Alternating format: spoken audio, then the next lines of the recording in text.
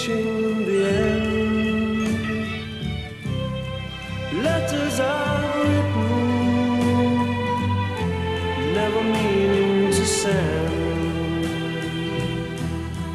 Beauty I've always missed with these eyes before.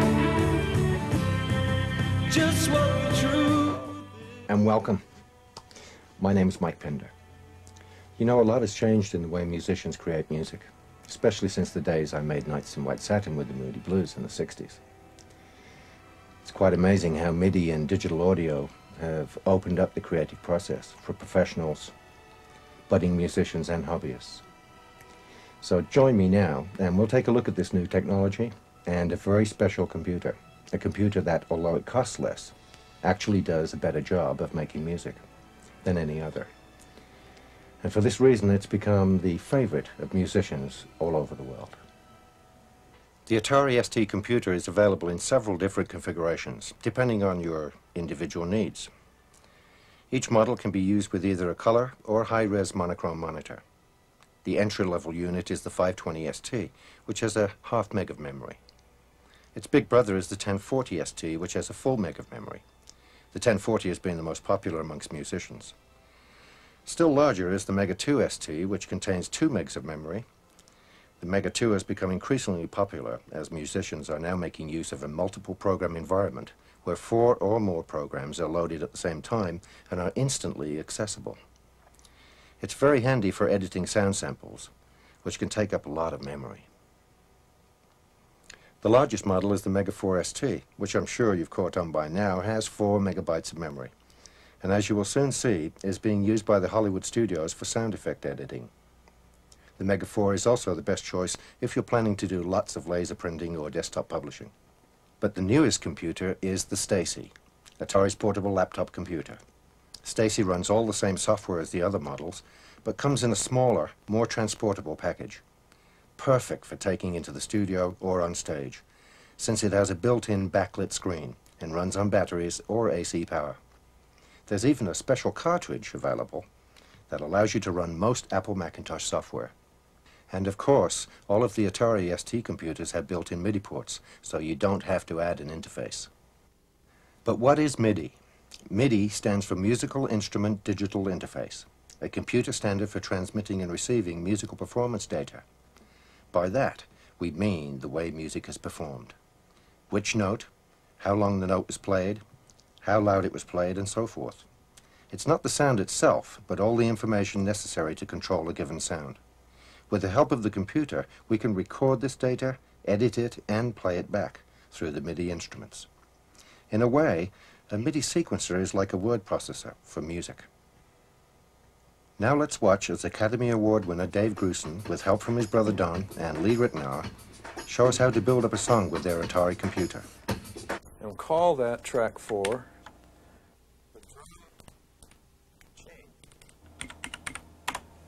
And now we can start at the beginning. And the drums will play forever. And uh, we're going to put this on another track. And Lee's going to play with me. We don't know exactly what we're going to do, but uh, we'll play with the drum machine and then uh, enter that into the computer. So let's uh, give a couple of bars. Okay.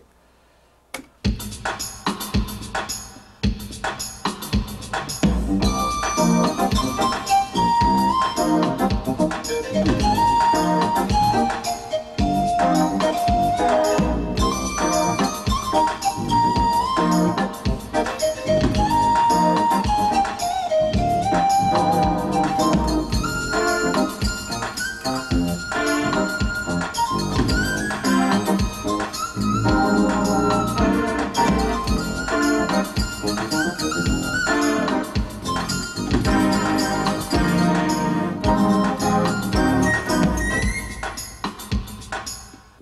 to voltage systems, there is a delay of 15 to 20 milliseconds, so um, Dave Grusin will probably correct that so I don't sound too far behind the beat.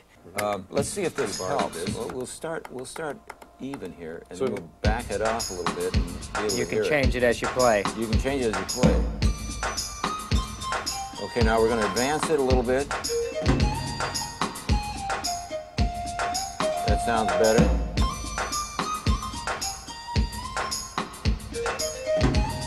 So now that track sounds locked to me. Let's turn the keyboards back on.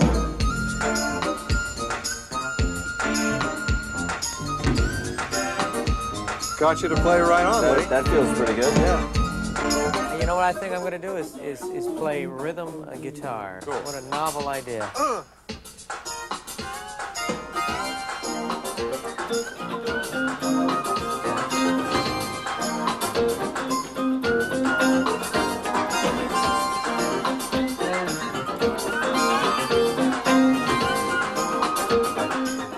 found that the Atari is also, far as its timing ability, the way it feels. Each computer has its own feel, regardless of the music software you're using.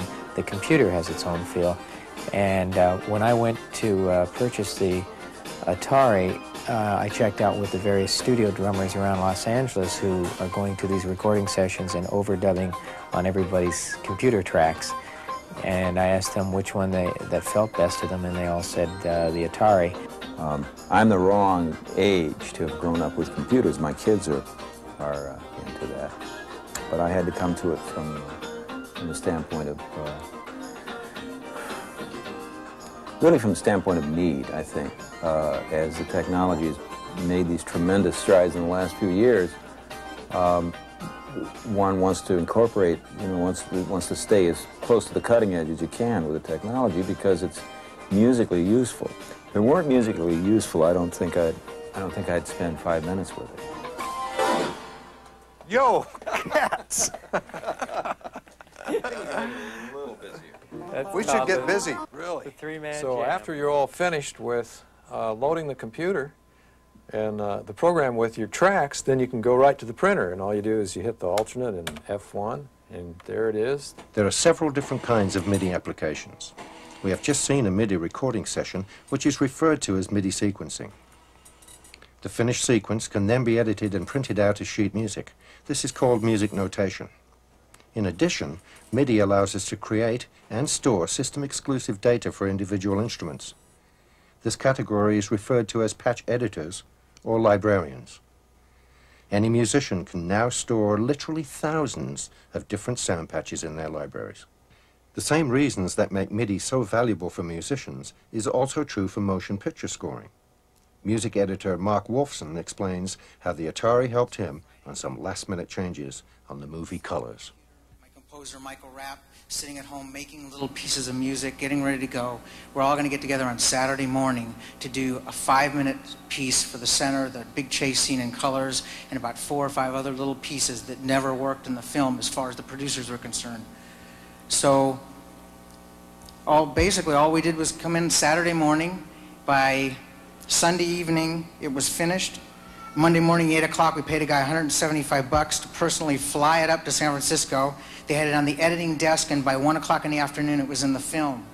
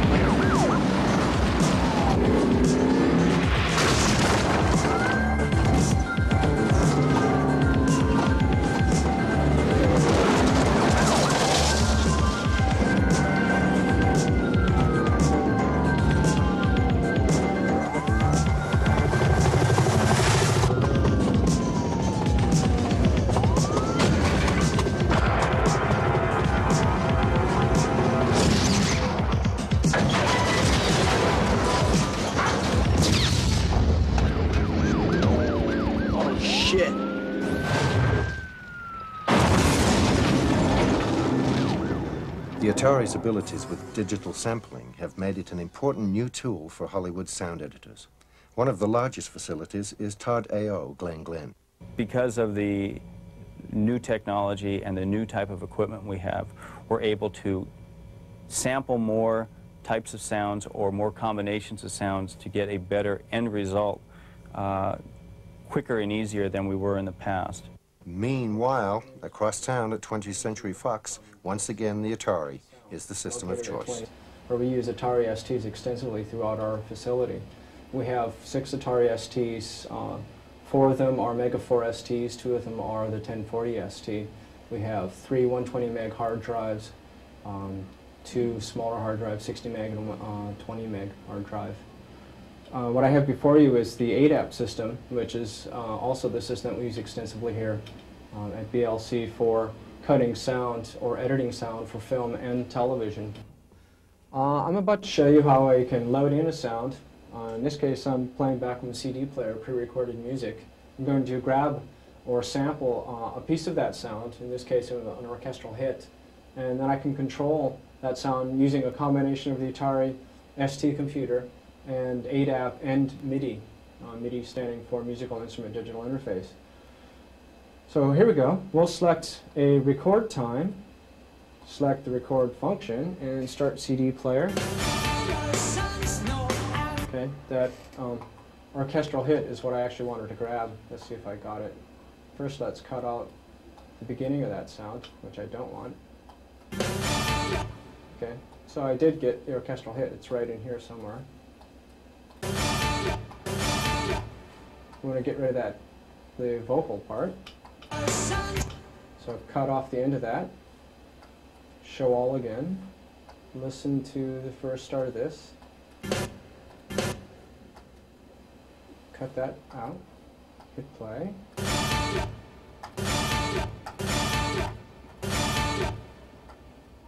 Try this again.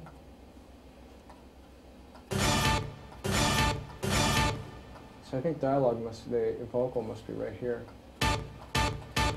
What I'll do is I'll select the next um, screen for um, ADAP system in the Atari ST. Select keyboard, which allows me to load in and map out sounds over um, a MIDI keyboard. The top of the screen is a um, keyboard map, and I can select where the sound will appear on the keyboard map. What I've just done is I've just assigned this list of sounds to different positions across the MIDI keyboards, and then I'll, i can go to the MIDI keyboard and play those back live. So I have um, an assortment of sounds now.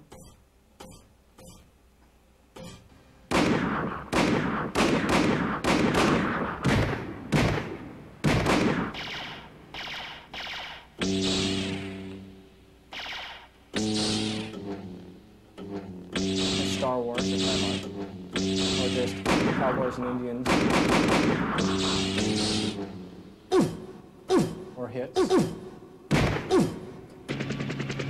Helicopters, which I can control the landing or takeoff using the pitch wheel of the MIDI keyboard. Beauty and the Beast. After the first season of Beauty and the Beast, uh, I was uh, approached with a challenge to do a movie called uh, Teeny Weenies, which later became Honey, I Shrunk the Kids. Diane, I got something real important to tell you. Are you trying to tell me the machine works? Do the kids know? Well, yeah, the kids know. That's great. It's not that great. Why? I shrunk the kids, and the Thompson kids too. They're about this big. Threw them out with the trash. What? They're in the backyard. Walt Disney Pictures presents The Last Frontier. One of the things the uh, director asked for was uh, for us to, to have the bees come out of, of the mother uh, calling for uh, Nick and Amy. Amy! So we started taking a squadron of bees, uh, which was actually a squadron of, of, of airplanes, of, of prop airplanes, and they start flying over by. Sounds more like a And then we need the sound of Mustang by, Mustang airplane with with uh, motorcycles and another motorcycle by going in.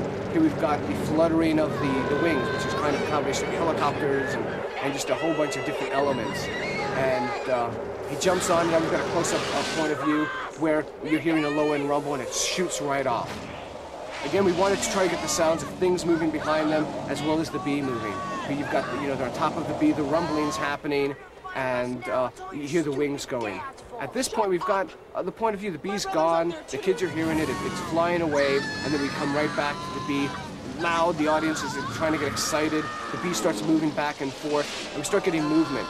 Now, only not only do we get the bee to start moving, but now the environment starts moving when things swooshing by, and we start feeling the bee moving back and forth here to try to get to, to get a feeling of movement. Again, it's going through the cloth, which we took cloths in, you know, in stereo and flapping them back and forth, and then the bee comes flying out and zoom right into the audience.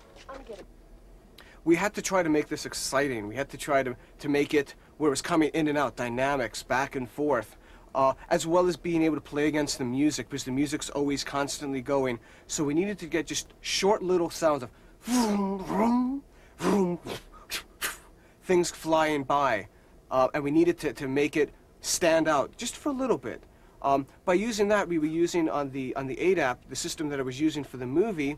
Um, they have a thing called an edit decision list. Is where you notice on the top you've got time code. Notice it's running on the upper right hand side. Amy! As the, uh, the scene rolls by, as I want something, I'll click the mark button, in which what that would do would capture a time code number for the specific effect that I want to place there. At this point, I want to place some of the, uh, the sounds of the bees going over. As the one bee comes down, I've placed another time. Then the bee comes in, right at the audience is another sound. Let's uh, real quick record a uh, piece of sound. I want to check to make sure my levels are hot so I don't distort. Once I find that the, the levels are sufficient, I stop the tape, exiting, and then I'm ready to record. What I do is I start rolling picture, I hit play, and it starts recording. Notice at the top that it is keeping track of the amount of time going by in seconds and frames. Once I feel that I've recorded enough material, I press stop, and what it's going to do is calculate and then display a digital analysis, a waveform analysis, of what the sound uh, actually looks like. As I press play, I'm going to use the function keys to mark different points where I find the sound might be usable or where I may want to edit. Then I hit return. What it's going to do at this point is start displaying the different function keys at which points I mark them using on the computer. I can uh, zoom in on a specific section of sound. Let's say there's a pop in there I want to get rid of, or just a sound that I want to keep and get rid of the rest. I can zoom in to get a closer look at what I'm actually doing. At the same time, by hitting Shift P, I can play just that portion of sound and find out if that's exactly what I want to use or whether I want to get rid of it I've started using the, the, the, Atari computer in many different other ways. Uh, we've actually right now have two uh, stations uh, within this room where my assistant's on one and I'm on the other. And we interact uh, all the time. Uh, me cutting, him databasing the new stuff that we just recorded the pre day previous. Um, in this way, uh, the computers have just sped things up, but not only speeding it up just because you want it faster, but giving us more time to be creative. Without a doubt, the Atari ST has the best collection of MIDI software. Professionals have a choice of over 30 different sequencer programs, over 100 sound patch librarians, and dozens of music notation programs which offer both dot matrix or high-quality laser printer output. Teachers and students are pleased to find a wide selection of innovative music education packages that cover everything from ear training to music theory. For the beginning music hobbyist, there are even low-cost entry-level sequencers and notation programs that show just how easy and fun MIDI really can be. But what if a person doesn't play keyboards? Atari has joined forces with inventor and producer Jimmy Hotz to make a revolutionary new instrument that everyone can enjoy. Mick Fleetwood explains how the project came about. I'm not a technical player, so my whole thought process is really not orientated that way. So for something to become attractive, which basically it has, uh, in terms of using the technology which uh, Jimmy int introduced me to, quite honestly, um, that has been something which, to me, has not existed before. You know, it wasn't available. I didn't feel it was available, and I didn't feel that I could express myself, in actual fact, through it.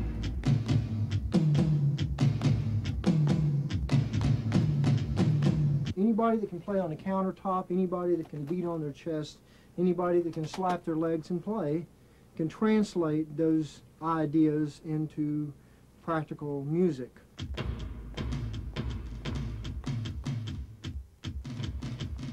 The joy of this, uh, in all seriousness, as a player, is the fact that it is really sensitive and pads in general, which this is not one of the pads in general, don't do this, which is like this. You really have a lot of control over dynamics, which is appealing to me, being a drummer drummer who doesn't really get enticed by these things very easily.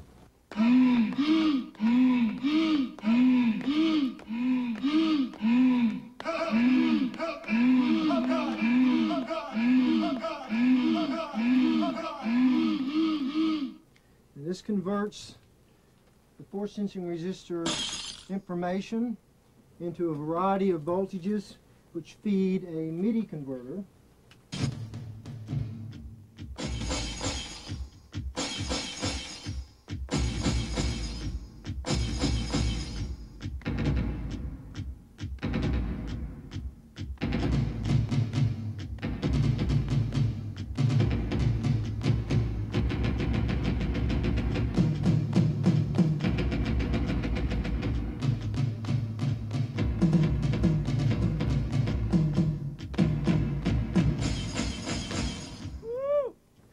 Just having the sample's not enough. You have to be able to translate what your ideas are into practical reality.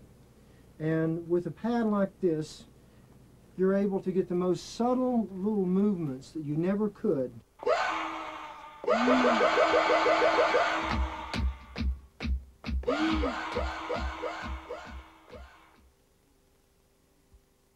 it be wonderful if someone or you could come up with an instrument? It was one of those late nights, um, and that I could play on and, and be creative and uh, get whatever is in or whatever's left in there out. And uh, lo and behold, he's done it.